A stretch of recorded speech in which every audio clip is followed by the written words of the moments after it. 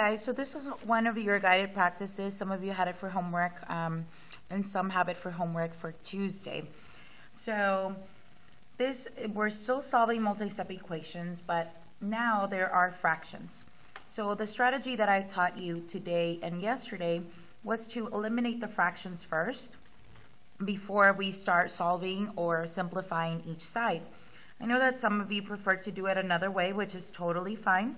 I'm just showing you this other one that we were practicing in class today.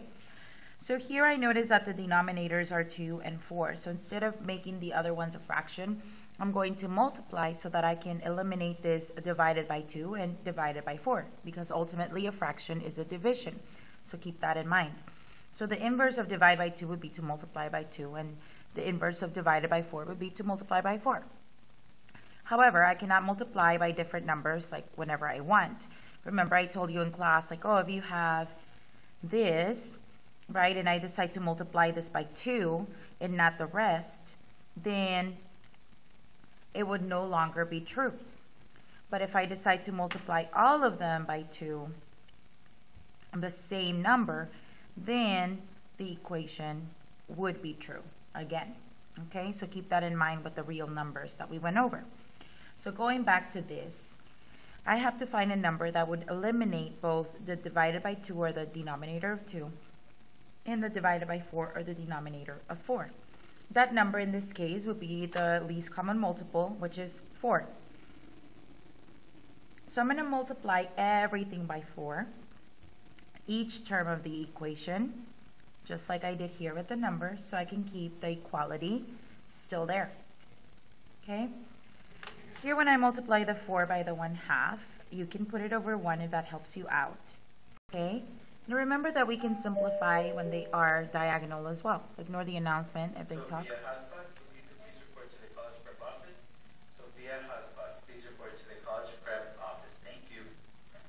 Sorry about that. I'm still in school and announcements came in. So anyway, um, here we would simplify that by 2. So here we would have a 1 and here we would have a 2. That 2 and 4 got canceled out, right? Reduced, so they're gone.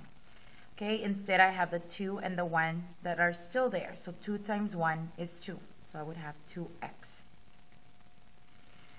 Over here it's easy. I'm just multiplying 10 times 4, which would give me 40. So I'm done with that side of the equation.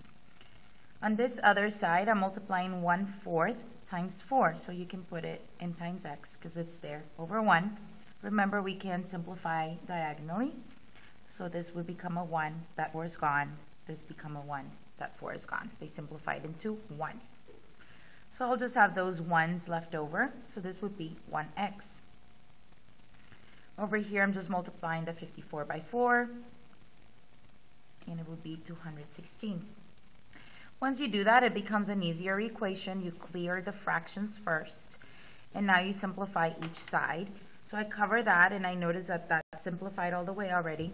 I cover this and I notice that that simplified all the way already. So I'm ready to designate a side for the constants and a side for the variables. So I'm going to do this, the variable side, and this will be the constant side. Okay, these are my constants and my variables are here. Okay, so that means that those I gotta move this way and this I gotta move the other way. So I'm going to start with my variable.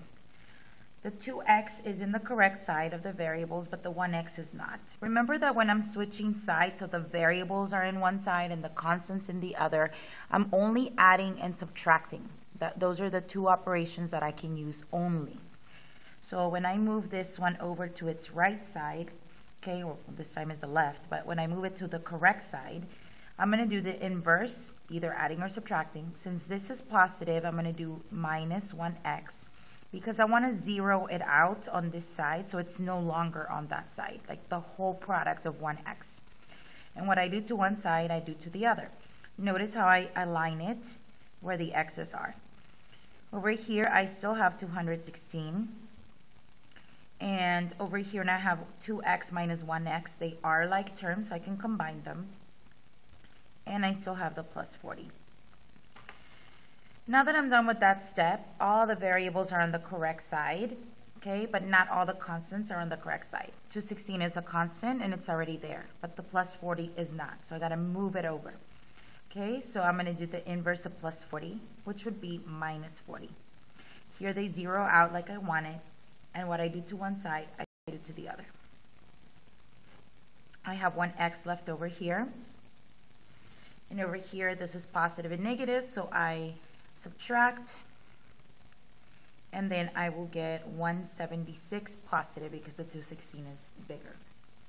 Here, you don't have to do this step because this is a 1, but if you want to show it, you divide by 1 to have the x by itself, and x equals 176. So that was the answer for this guided practice number 1. I will also do guided practice number 2. So guided practice number two for the packet for multi-step equations with fractions and decimals. This was the problem.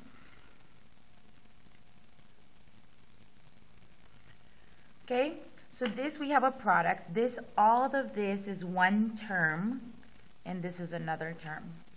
Okay, so if I want to simplify or eliminate the fraction, in other words, the decimal, if I want to eliminate the divided by 5, so I'm clear of fractions, the inverse will be to multiply by 5. So when I multiply by 5, I have, I'm multiplying by 5 this whole term, so I'm done on this side. And I would have to also multiply this term by 5 so that I can keep the equality going. So over here is as if you're multiplying this together and diagonally these two cancel into 1. They become a 1 when you divide them out. And I only have the 3 and the 1 left over. So I'll rewrite this. I have the 3 and I still have the p minus 3. And over here it'll be negative 20.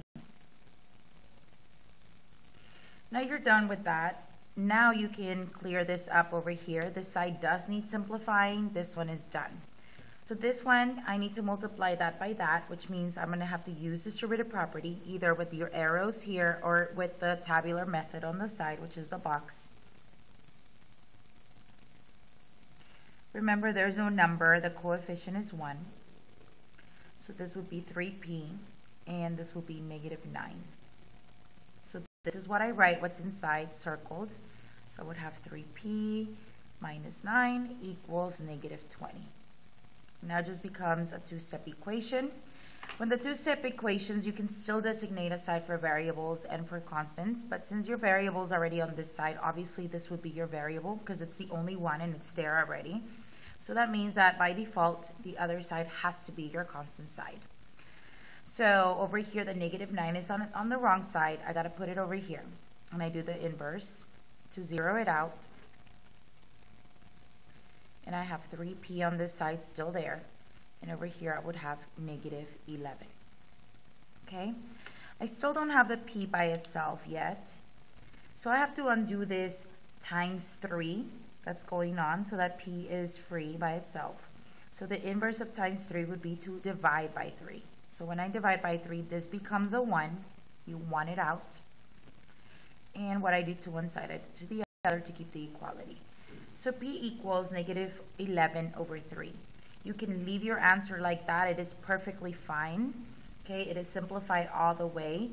You can also leave it as a mixed number. Here I wouldn't recommend you to do it in decimal because 2 thirds uh, the decimal part would be an approximation of two-thirds. Six repeating is an approximation, is not exactly equal to two-thirds. So these two answers in fraction and in mixed number are more true or are the real answer. This would be an approximated answer because two-thirds, the six repeating is an approximation of two-thirds. Okay, so I'll put this again really quick. And that would be your guided practice number two.